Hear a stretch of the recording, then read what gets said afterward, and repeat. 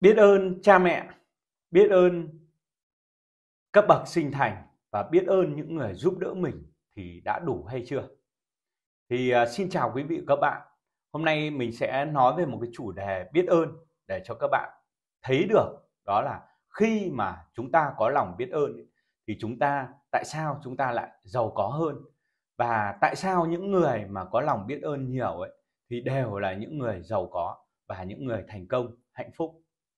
Thì cái việc đầu tiên đó là chúng ta nói lời biết ơn với ông bà tổ tiên của chúng ta thì bằng cái thể hiện cái đó là gì? Chúng ta đi tảo mộ cuối năm, đúng không ạ?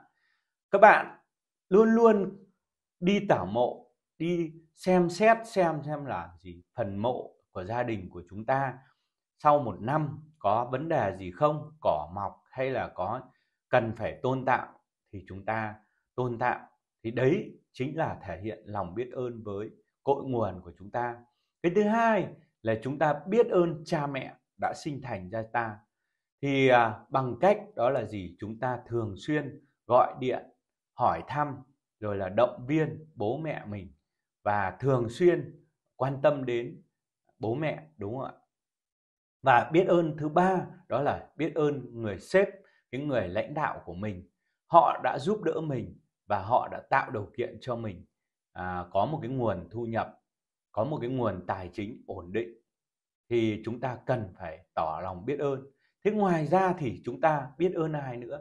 Đó là biết ơn những cái người à, đồng nghiệp những cái người mà luôn luôn ở bên cạnh mình à, những người mà đồng cam cộng khổ với mình khi mà chúng ta à, sống cùng với nhau và làm việc cùng với nhau đúng không ạ?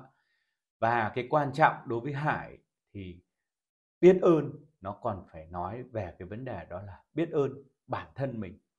Chỉ cần các bạn có cái lời biết ơn chính bản thân các bạn thôi thì các bạn sẽ thấy rằng là cuộc sống này nó trở nên rất là có nhiều ý nghĩa và cuộc sống nó trở nên dễ dàng hơn rất là nhiều.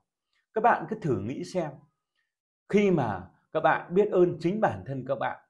Các bạn đã nỗ lực trong một năm vừa qua hết sức rồi và chúng ta đạt được cái thành quả như vậy đúng không ạ?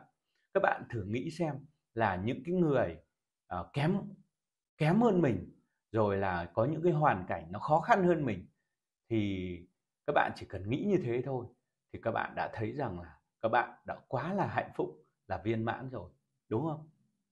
Và các bạn cũng không quên là biết ơn người vợ, người con đã luôn luôn hỗ trợ rồi là động viên mình trong những lúc mình khó khăn, trong những lúc mình thành công, trong những lúc mình vui vẻ, trong những lúc mình buồn. Và cái quan trọng nữa đó là các bạn hãy biết ơn những đối thủ của mình.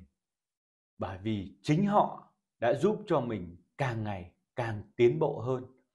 Chính vì họ phát triển nên mình phải phát triển hơn họ. Và mình cần phải biết ơn những cái người mà đã ngáng chân mình đã vùi dập mình. Và vì có họ thì làm cho mình càng ngày càng tự tin hơn à, càng ngày càng mạnh mẽ hơn và càng ngày mình càng cứng cáp hơn. Và biết ơn tất cả mọi sự vật hiện tượng nó diễn ra xung quanh các bạn. Khi mà các bạn có lòng biết ơn các bạn sẽ thấy các bạn hoàn toàn à, rất là hạnh phúc và viên mãn với cái cuộc sống của các bạn đúng không ạ? Còn những người mà khó không có lòng biết ơn hoặc nói lời biết ơn ít thì các bạn sẽ thấy cuộc sống rất là vất vả rất là khó khăn. Về vấn đề đó là gì? Hạnh phúc không có đầy đủ được. Nên à, tôi mong muốn các bạn hãy nói lời biết ơn nhiều hơn để giúp cho cuộc sống của chính các bạn càng ngày càng trở nên à, thành công mạnh mẽ và càng ngày càng được nhiều người yêu quý hơn. Rồi là cảm ơn tất cả anh chị em đã xem video của Hải và chúc anh chị em à, có những cái tư duy có những cái kiến thức có những cái thay đổi mạnh mẽ trong năm à, mới. Xin chào và hẹn gặp lại các bạn nhé